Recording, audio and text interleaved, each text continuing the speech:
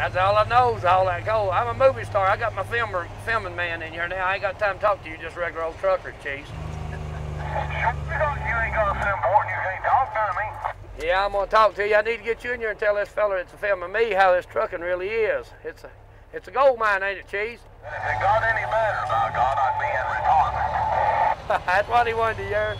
See you, Cheese. When get that 475 to pumping, you won't have no trouble, trouble catching this small block of mine.